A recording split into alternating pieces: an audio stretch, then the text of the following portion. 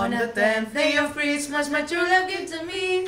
Ten birds are living, Nine ladies waiting, eight maids are milking, seven sons are swimming, six is a lake, five golden rings, four calling birds, three French hens, two turtle doves, and a partridge in a pear tree.